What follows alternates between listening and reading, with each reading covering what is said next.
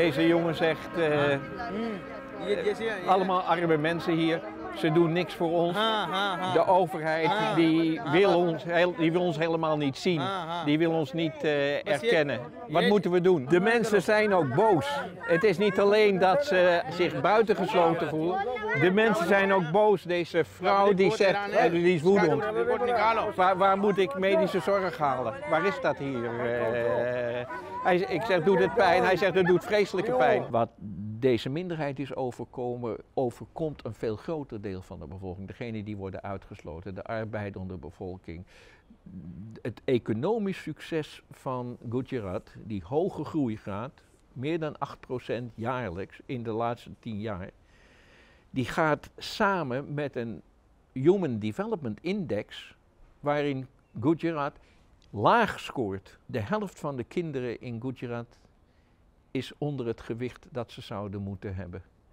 Eh, en dat is het gevolg van het niet respecteren van arbeidswetgeving, die wel degelijk bestaat op papier, maar die door de krachtige inspanning van eh, Modi niet wordt eh, nageleefd.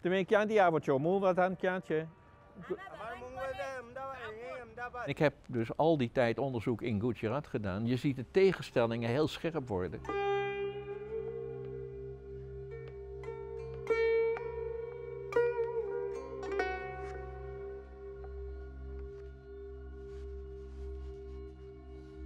Dit is eh, arbeid die verpauperd is.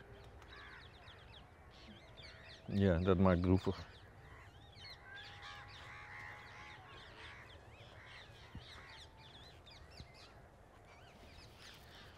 Ken je?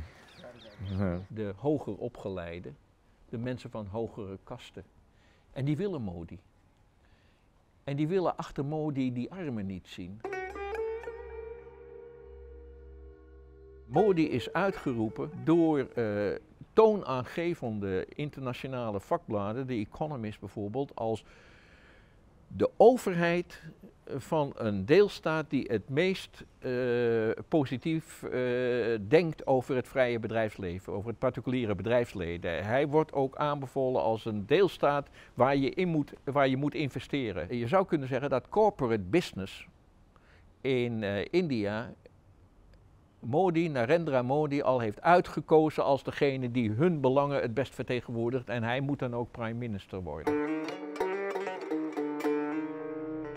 Dit is de Sabarmati-rivier, een beroemde rivier, een heilige rivier ook. Maar er stroomde geen water meer in de rivier, alleen in de moesson. Het betekende dat aan de oevers van de rivier eh, de armen van de stad konden huizen. Die hadden hier een hutje gebouwd. En die passen dus ook niet in de verfraaiing van de stad, die moesten eruit.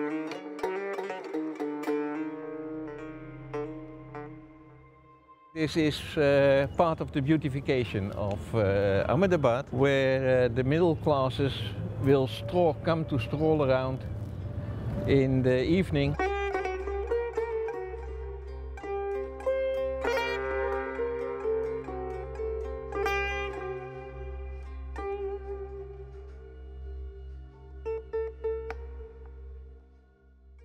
Ja, dit is een beetje het afvalputje van uh, Ahmedabad, van de stad. Waar de mensen gedeporteerd zijn, die uit de stad zijn gezet, uit hun, uh, hun uh, hutten daar langs de rivier of op andere plekken in de stad, hebben moeten verlaten omdat de gemeente daar iets anders mee wil. Deze plek is te ver van de stad af om je brood te verdienen in de stad. En ze wonen hier omdat ze economisch van die stad afhankelijk zijn.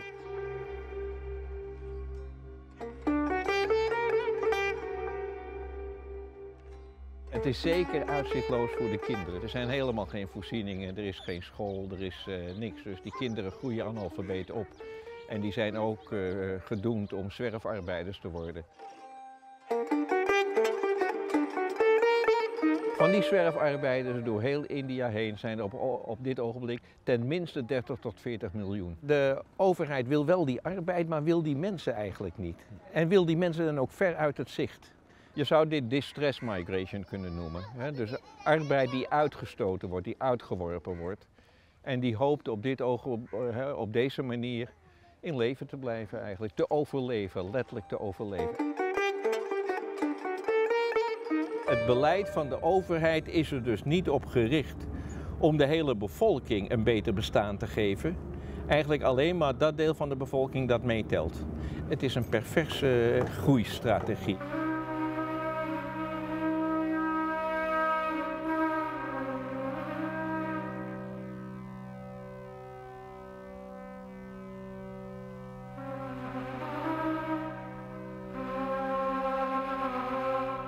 Modi, die voor veel Gujaratis die tot de beter bedeelde deel van de bevolking behoren, het succes is. De leider is voor India als geheel, zie ik als een bedreiging voor, niet alleen voor een uh, verbetering van de arbeidende omstandigheden, maar zie ik ook als een bedreiging voor de democratie. De uitspraken die hij doet, maken de vergelijking met het fascisme zoals wij dat uit Europa kennen, heel reëel. We rijden nu uh, langs de wijk uh, Johapura. De naam waaronder, waaronder het bij uh, de hindoe-bevolking van Ahmedabad bekend staat is mini-Pakistan. Want hier huizen alleen maar moslims. Niet omdat ze het zelf willen, maar omdat ze hierheen verdreven zijn. Hier in India zijn de moslims het slachtoffer van het uh, geweld van de hindoes. Waarbij uh, moslims op straat werden achtervolgd en afgeslacht, letterlijk afgeslacht. Uh, massale verkrachting van vrouwen, op een gruwelijke wijze vermoord, echt in, in, stukken gehakt mensen. En er zijn goede aanwijzingen die doen vermoeden dat de overheid zelfs de hand in had om die onderste aan te wakkeren. Eh, dat deed Narendra Modi, de chief minister van, uh, van Gujarat. Uitsluiting, niet insluiting, is de leuze van Gujarat, van Modi.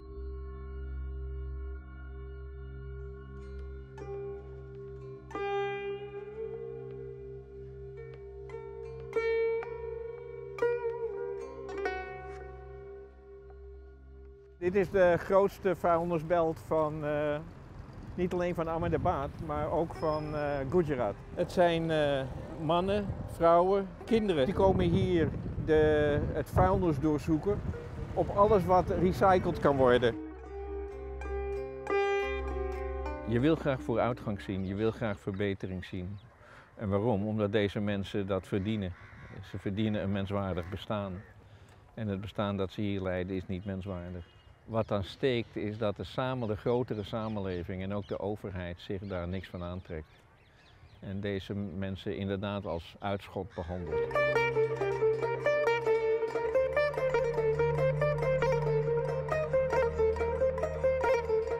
Ik ben erg bang voor die ruk naar rechts in de wereldpolitiek als geheel. Omdat wij die ruk naar rechts zien als een, uh, als een garantie dat degene die het goed gaat, het goed zal blijven gaan.